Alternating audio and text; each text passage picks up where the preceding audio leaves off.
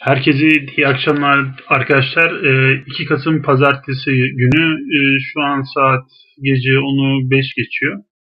Sizlere arkadaşlar e, bir muhasebe deneme sınavı hazırladım. Merkezi Yönetim Muhasebe Denemi'nde anlattığımız konularla ilgili olan şu ana kadar yayınlanan dönem varlıklar ve duran varlıklarla ilgili 40 soruluk bir deneme sınavı. Nerede ulaşabilirsiniz? Muhasebe Günlükleri YouTube kanalında şu hakkında kısmına girdiğiniz zaman bakın şurada MYM deneme sınavı 1 diye var.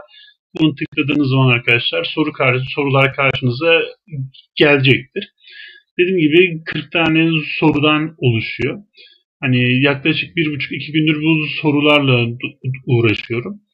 Hani ola ki bir yerinde yanlışlık olur, hani bir kelime hatası olur, bir hesabı mükerrer kullanmıştır vesaire.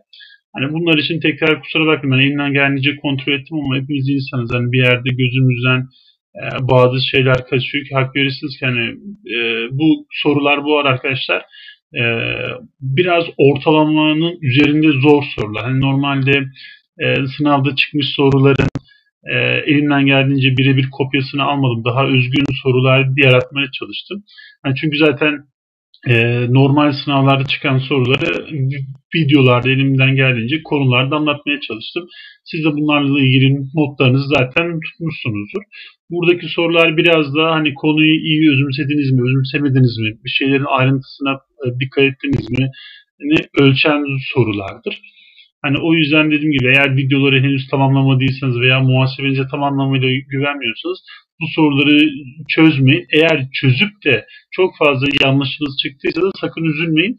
Nerelerde hatalar yaptığınızı dönün bakın. Çünkü sonuçta şeytan ayrıntıda gizlidir. Hani e, bu sınavlarla, bu, bu sorularla gerçek sınavda karşılaşmaktansa hani burada karşılaşıp bir önce eksikliklerinizi tamamlayın. E, bu ara şunu söyleyeceğim. Dediğim gibi hani e, gözümden bazı şeyler bazen kaçıyor. Hani e, hepimiz insanız dediğim gibi. Mesela şunu söyleyeyim. En son 294 elden çıkarılacak stoklar ve maddi duran varlıklar hesabında mesela bir e, olumlu satış yapıyorduk. İşte hurdayı bir de olumsuz satış yapıyorduk.